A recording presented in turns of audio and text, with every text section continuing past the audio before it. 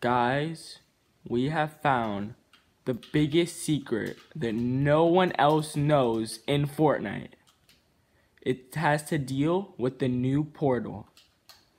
I haven't seen a single YouTube out on this. I've been in plenty of games. No one has used it, but it's about to go down. Are you ready? Boom! When you go in the portal, you instantly get rifted. Boom! No one knows about this. It's the biggest secret. Epic has been hiding it from you. The new portal is insane. Not even Tfue or Ali A know about it.